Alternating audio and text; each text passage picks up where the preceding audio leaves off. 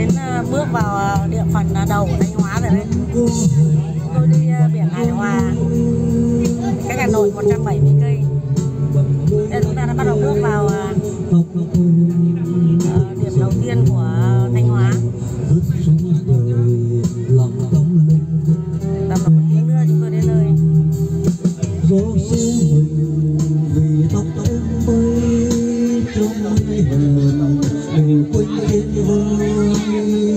phải không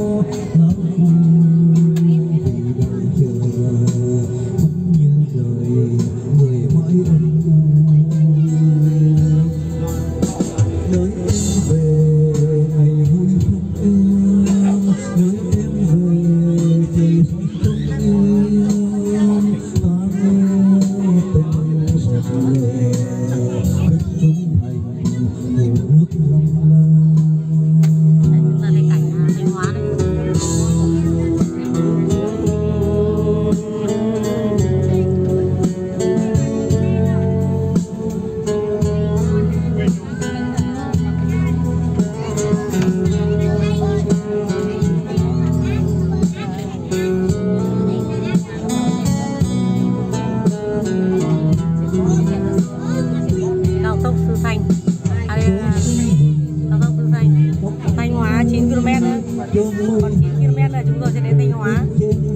Nhưng mà từ Thanh Hóa vào biển Hải Hòa tầm 20 cây